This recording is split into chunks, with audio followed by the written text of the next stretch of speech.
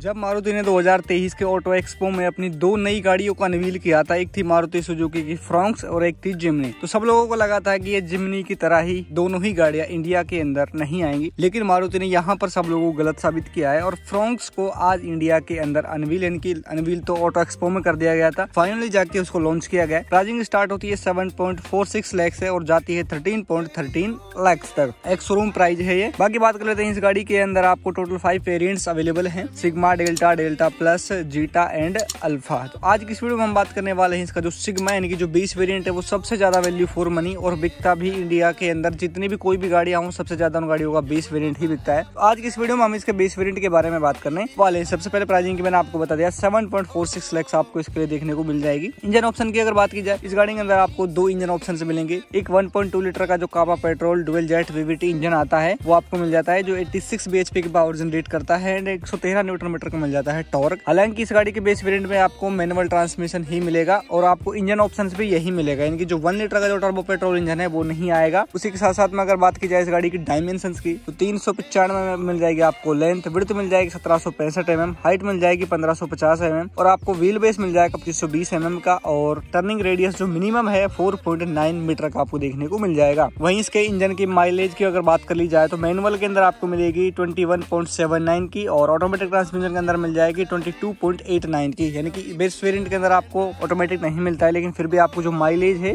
वो आपको देखने को मिल जाती है। अब बात कर लेते हैं इसके कुछ सेफ्टी फीचर्स की। तो सबसे पहले गाड़ी के अंदर ईएसपी मिल जाता है हिल होल्ड असिस्ट मिल जाता है डोल फ्रंट बैग्स मिल जाते हैं रिवर्स पार्किंग सेंसर आपको देखने को मिल जाते हैं all rear three seat belt आपको देखने को मिल जाते हैं, और आइसोफिक चाइल्ड सीट आपको देखने को मिल जाएगा। तो ये चीज़ें आपको मिल जाती है इसके सेफ्टी के बारे में। अब चलते हैं, बात करते हैं इसके फ्रंट प्रोफ़ाइल लुक से कि आपको क्या कुछ इस गाड़ी के अंदर आपको फ्रंट से देखने को मिल रहा है। जब आप इस गाड़ी को फ्रंट प्रोफ़ाइल लुक से देखोगे तो ये आपको ग्रांड बेटारा की ही याद दिलाएगी, क्योंकि आपको सेम ग्रांड बेटारा जैसे ही आपको देखने को मिल रही है। सेंटर में आपको मारुति का लोगो उसके चारों और यहाँ पर आपको क्रोम का काम किया गया है। एंड आपको नई ग्रिल यानी कि सेम आपको जो ग्रांड बेटारा के अंदर ग्रिल मिलती है, वही आपको देखने को मिल जाती है। उसी के साथ साथ आप इसके हेडलैम्प यूनिट देखोगे तो यहाँ पर आपको हेलोजन बेस आपको हेडलैम्प यूनिट है प्रोजेक्टर के अंदर आपको देखने को मिल जाती है। उसी के ऊपर यहाँ पर आपको टर्न इंडिकेटर की प्लेसमेंट आपको देखने को मिल रही है। नीचे भी आओगे तो आपको जो बंपर पार्ट है, वो सिल्वर फिनिशिंग के अंदर आपको देखने को मिल जाता है। तो फ्रंट प्रोफ़ाइल से आपको कॉपी किया गया है इसको ग्रांड विटारा से। अगर मैं इसके की फोब की बात करूँ तो यहाँ पर आपको इंटरलॉकिंग के साथ में आपको की फोब मिल जाएगी। उसी के साथ साथ आपको रिक्वेस्ट सेंसर वगैरह आपको देखने को नहीं मिलेगा और आपको सिंपल जो की आती है, जो इसकी सबके बेस वेरिएंट के अंदर ही आती है, वही की आपको देखने को मिल रही है। साइड प्रोफ़ाइल के अंदर आते हैं तो यहाँ पर आपको सबसे पहले आपको जो टर्न इंडिकेटर की जो प्लेसमेंट है, वो आपको फेंडर पर मिलेगी, ना ही कि ओआरवीएम पर आपको मिलेगी। ओआरवीएम में आपको बॉडी कलर भी नहीं मिलेगा ब्लैक कलर का ऑफ़र किया जा रहा है और इन ओआरवीएम को आप ना इलेक्ट्रॉनिक होल्ड कर सकते हो, ना इलेक्ट्रॉनिक एडजस्ट कर सकते हो। वहीं आप इसके साइड प्रोफ़ाइल के अंदर टायर साइज़ की अगर बात की जाए तो आर सिक्सटीन का आपको टायर साइज़ मिल जाएगा। फ्रंट के अंदर आपको मिलेंगे डिस्क ब्रेक और स्टील व्हील रिम के साथ आपको देखने को मिलेंगे। यानी कि आपको बाकी साइड प्रोफ़ाइल के अंदर आपको रूफ रील्स आपको देखने को मिल जाएँगी। और रियर प्रोफ़ाइल के अंदर आते हैं तो सबसे पहले आपको मिलेगा ऊपर सार्फेन एंटीना। उसी के नीचे आपको मिल जाएगा इसका स्पॉइलर और पीछे आपको मिल जाएगा इसका एक डिफोगर। एंड आपको जो टेल लैम्प है, वो भी आपको देखने को मिल जाते हैं इसके अंदर। तो काफ़ी अच्छे डिज़ाइन के जो गिरांड बिटारा है, उसके अंदर भी इस तरीके का आपको जो टेल लैम्प है, वो आपको देखने को मिल जाते हैं। और टेल लैम्प के नीचे ही आपको फ्रंक्स के आपको मिल जाएगी बेजिंग और सेंटर के अंदर आपको मिलेगा मारुति का लोगो नीचे आओगे तो रिफ्लेक्टर बेस आपको देखने को मिल जाएँगे। और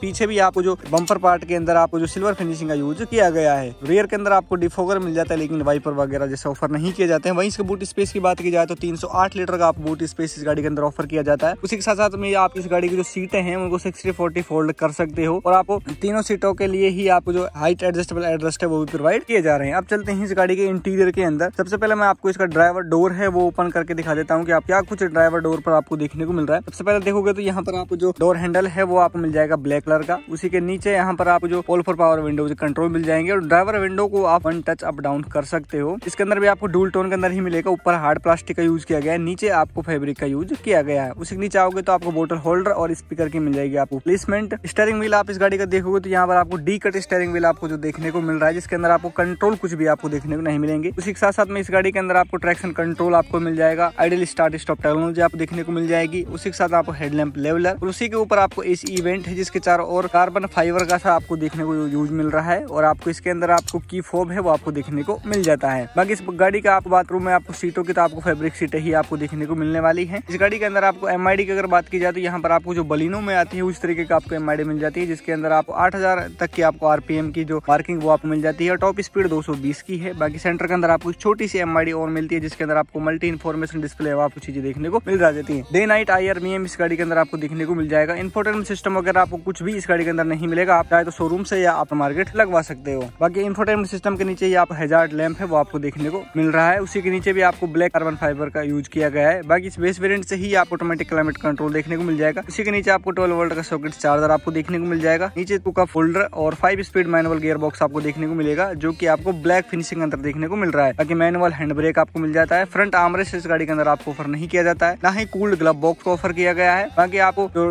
डैशबोर्ड है वो फिनिशिंग अगर आपको देखने को मिल जाए, नीचे देखोगे तो लाल लाल सा है, ऊपर उसके ऊपर अलग कलर है, उसके ऊपर एक और है, उसके ऊपर एक और तो चार लेयर्स के अंदर आप जो डैशबोर्ड है, वो आप देखने को मिल रहा है। अगर इसके इंजन इंजन बे आप देख सकते हो, यहाँ से आप इस गाड़ी का जो इंजन बे है, वो ओपन कर सकते हो। रियर के अगर बात किया रियर सीट के अंदर डोर की तो यहाँ पर आपको पावर विंडो का सॉकेट मिल जाता है। सेम डोर ही है, एक स्पीकर की प्लेसमेंट की गई है। बाकी अगर बात की जाए तो तीनों पैसेंजर के लिए आपको अलग अलग हेडरेस्ट आपको देखने को मिल जाते हैं। वो भी एडजस्टेबल आपको देखने को मिल जाते हैं। लेकिन आपको आमरेस्ट नहीं मिलता है रियर के अंदर भी। ना ही रियर के अंदर आप ऐसी इवेंट वगैरह वो आपको देखने को मिल जाते हैं। बस एक चार्जर का सॉकेट आपको देखने को मिल जाता है, कुछ स्पेस आपको देखने को मिल रहा है। बाकी आपको क्वार्टर पैनल है, वो भी इसका अंदर देखने को मिल रहा है। पीछे बैठने पर आपको गाड़ी कुछ इस तरीके की नज़र आती है, जो काफ़ी अच्छी लग रही है। बाकी अति तो क्या है, जैसे आप बलेनो में बैठ जाना चाहे आप ग्रांड बेटारा में बैठ जाना, चाहे इसमें बैठ जाना, आपको सेम ही फील आने वाली है, क्योंकि इंटीरियर तीनों गाड़ियों का ही आपको सेम आपको देखने को मिल रहा है। बाकी आप मुझे बताना है कि भाई, आप ये गाड़ी कैसी लगी? इसका जो बीस वेरियंट था, उसके बारे में आपको कंप्लीट डिटेल देती है। आपको सात लाख छियालीस हज़ार रुपए के अंदर इस गाड़ी के अंदर आपको क्या कुछ ऑफ़र किया जा रहा है? बाकी अब आएँगे इसके नेक्स्ट वीडियो के साथ, इसका जो सिग्मा के बाद जो डेल्टा वेरिएंट आता है, उसके वीडियो बनाएँगे और इन दोनों को कंपेरिजन करके बता देंगे आपके लिए कौन सा वेरियंट वैल्यू फोर मनी है। बाकी अगर आप वीडियो को मैं उम्मीद करता हूँ आपने यहाँ तक वीडियो देखी है तो आपको पसंद ज़रूर से आई होगी। अगर पसंद आई तो वीडियो को लाइक करके चैनल को सब्सक्राइब करके बेलाइकन को भी प्रेस कर सकते हो। बाकी मिलते हैं नेक्स्ट डे नेक्स्ट वीडियो में। वीडियो देखना आपका बहुत बहुत धन्यवाद। Thank you so much